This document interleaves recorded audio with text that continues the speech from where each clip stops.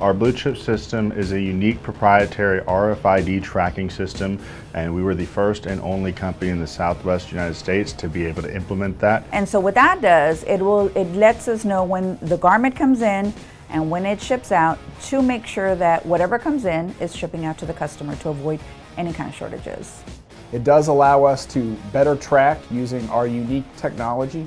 um, it allows us to better proactively service customers by repairing and replacing their clothes. What it does is it helps us correct the biggest problem in this industry, and that's shortages. Uh, we found that customers were missing information, um, customers needed better or more information, and the Blue Chip system that we developed allowed us to be able to communicate that information to them so that they could have more information each week when we were there taking care of their account and allows us to have a 99.99% accuracy rating to make sure that all of our products are coming back to our customers and that we were able to be accountable as a local business. And overall, it makes us a better company with uh, more loyal customers and allows us to do what we say we're going to do.